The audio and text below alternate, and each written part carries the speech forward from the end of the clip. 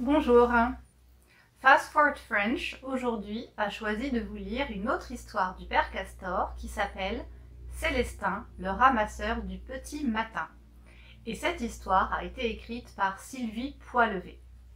Je commence.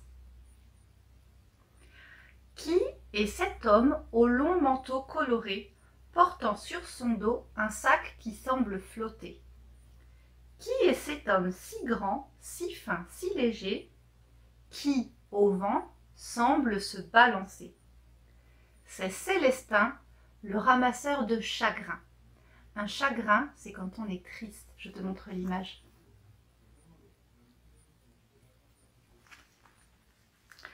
Chaque jour, de bon matin, ça veut dire très tôt, il s'en va sur les chemins. À grandes enjambées, à grands pas, il s'en va pour ramasser les petits soucis, les petits riens, les gros bobos, les gros chagrins. Avec la pointe de son bâton de bois, il pique les mouchoirs à pois, à trous, à rayures, à fleurs, à carreaux, de toutes les couleurs. Il pique les mouchoirs abandonnés, les mouchoirs encore tout mouillés par les petits et les grands malheurs. Puis, quand son sac est bien rempli, il rentre enfin chez lui, fier d'avoir débarrassé la terre de toutes ses misères. Depuis des années, dans sa grande maison, Célestin empile les sacs du sol au plafond. Empiler, c'est faire une pile. Pourtant, il ne sait pas pourquoi, mais un nuage gris s'installe petit à petit, petit à petit, tout au fond de lui. Célestin se dit que ça va passer. Alors il continue à ramasser les petits soucis, les petits riens, les gros bobos et les gros chagrins. Mais de jour en jour, le nuage gris est plus gros, plus lourd. De jour en jour, à chacun de ses pas, Célestin est de plus en plus courbé, de plus en plus voûté comme ça, comme si son sac était trop lourd à porter. Un matin, en ramassant un chagrin à pois, il se mit lui aussi à pleurer, à pleurer, sans pouvoir s'arrêter.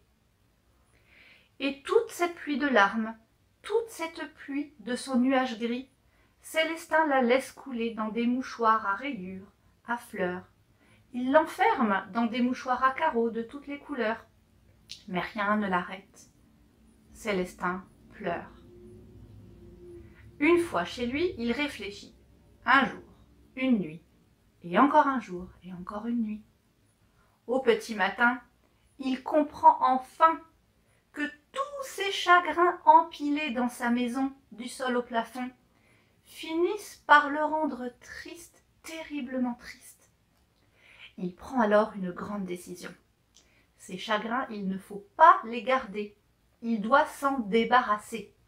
Mais comment faire? Impossible de les remettre sur la terre. Ils pourraient repousser et les gens seraient encore plus tristes. Ah, ça non, pas question. Célestin réfléchit, tourne en rond, se met à ouvrir un sac, puis deux, puis quatre. Les yeux encore tout mouillés, il commence à déplier les petits soucis, les petits riens, les gros bobos, les gros chagrins.